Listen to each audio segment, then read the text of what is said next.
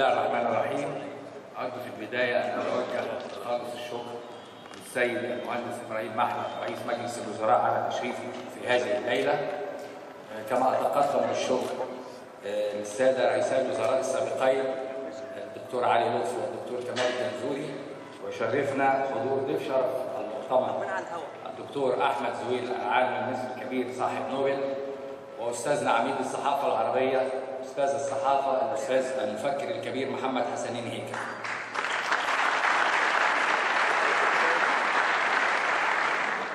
السيدات والسادة يسعدني أن أرحب بهذا الجمع الكريم في افتتاح مؤتمر أخبار اليوم الاقتصادي.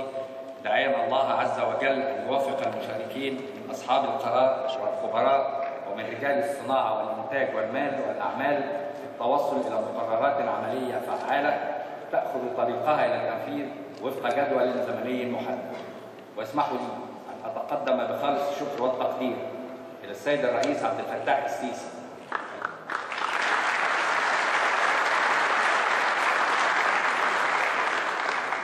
إلى السيد الرئيس عبد الفتاح السيسي الذي تفضل بوضع مؤتمركم هذا تحت رعايته تعبيرا عن دعمه لكل جهد مخلص يستهدف الانطلاق بوطننا الغالي على طريق المستقبل نحو آفاق التنمية والتقدم والرخاء لكل أبناء الشعب. السيدات والسادة.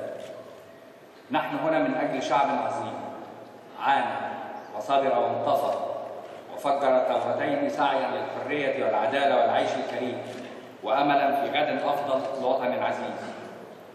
نحن هنا من أجل مصر التي تستحق منا جميعا أن نتعاون ونتكاتف ونوحد جهودنا لترتقي إلى المكانة التي تستحق.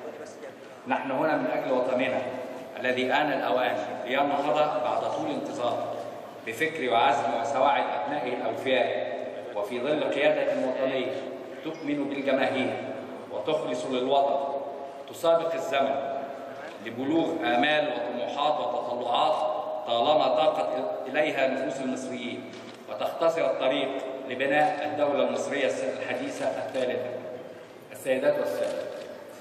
نشأت فكرة عقد هذا المؤتمر منذ قرابة الشهرين حينما دعا منتدى الأخبار للحوار نخبة من كبار رجال الصناعة والإنتاج في مصر للنقاش حول دور مجتمع الأعمال في تحقيق التنمية الاقتصادية والاجتماعية. وكانت مفاجأة هذا المنتدى هي حضور السيد الرئيس عبد الفتاح السيسي جانبا من أعمال المنتدى وتحدث السيد الرئيس أمام الحضور في تلك الأمسية الرمضانية لمدة 45 دقيقة مقدما رسائل طمأنة للاستثمار والمستثمرين في ظل مناخ كانت تغلفه شكوك وشائعات. وجرى في هذا المنتدى طرح مشكلات ومعوقات وكذلك رؤى وأفكار. واقترحنا من جانبنا عقد مؤتمر اقتصادي تنظمه دار أخبار اليوم لمناقشة كل تلك القضايا. وفي مقدمتها تشجيع الاستثمار الوطني والعربي والأجنبي من أجل النهوض بالإقتصاد وتوفير فرص العمل للمواطنين وتحسين حياة المصريين. ومنذ اليوم التالي شرعنا في عقد سلسلة من الجلسات التحضيرية. استغرقت 80 ساعة عمل على مدار ست أسابيع بمشاركة مسؤولين كبار من الحكومة وخبراء وممثلين مجتمع الأعمال وصناديق الاستثمار تطوعوا جميعا بتقديم خلاصة خبراتهم وتجاربهم لحسن الإعداد والتحضير للمؤتمر. واستقر الرأي على أن يسبق المؤتمر إعداد أوراق عمل من جانب الحكومة والقطاع الخاص والخبراء. لتكون أساسا للنقاش في الجلسات. وفي هذه الجلسة الافتتاحية وعقب كلمة السيد رئيس مجلس الوزراء سوف نستمع إلى رؤى جيل جديد من شباب الأعمال وممثل المستثمرين العرب عن المؤتمر وما نتمنى أن يسفر عن نتائج. وسوف يعود المؤتمر للانعقاد صباح غد بإذن الله في أربع جلسات عامة متتالية تناقش قضايا الاستثمار وسياسات الإصلاح السياسات المالية والضريبية والنقدية النمو والعدالة الاجتماعية سياسات الطاقة والاستثمار. وسوف يخصص اليوم الثالث للمؤتمر بعد غد لعقد ست جلسات قطاعية تعقد كل ثلاث منها بالتوازي لمناقشة قضايا التنمية السياحية والعمرانية النقل واللوجستيات التجارة الداخلية والخارجية التنمية الصناعية الاتصالات وتكنولوجيا المعلومات الزراعة والصناعات الغذائية.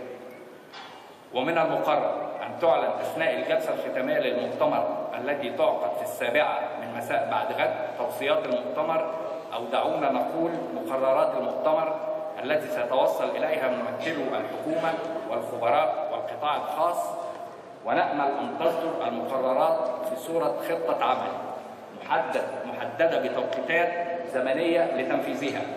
ونتطلع إلى حضور السيد رئيس الوزراء هذه الجلسة الختامية ليضع التوصيات تحت رعايته.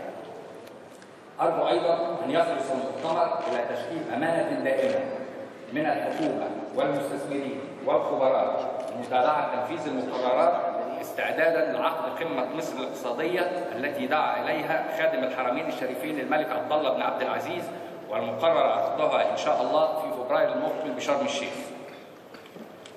السيدات والسادة أرى أمامي مصر الجديدة علماء ومفكرين وخبراء ورجال مال واقتصاد وحكومة وطنية مخلصة وإعلاما وصحافة حرة. أرى مصر الجديدة مصر 25 يناير و30 يونيو التي لا تستعصي عليها تحديات ولا تكبح عزيمتها مخاطر. لقد حان الوقت لنبني بلدنا بخطط سليمة وإدارة رشيدة وتنفيذ دقيق. لا مجال لأعذار أو مبررات. فلا تنقصنا إرادة الشعب ولا تعوزنا رؤية قيادة ولا إخلاص. مرة أخرى أرحب بحضراتكم وأتقدم بخالص الشكر لكل من ساهم في الإعداد لهذا المؤتمر وبادر طوعا بتقديم الجهد والعرق لإنجاحه متمنيا التوفيق للمشاركين وأدعو الله أن يكلل مساعيهم بالنجاح في الخروج بنتائج ترقى إلى مستوى تطلعات هذا الشعب وإلى قدر مسؤوليتنا الوطنية من أجل عزة ورفعة مصرنا الغالية. والسلام عليكم ورحمة الله.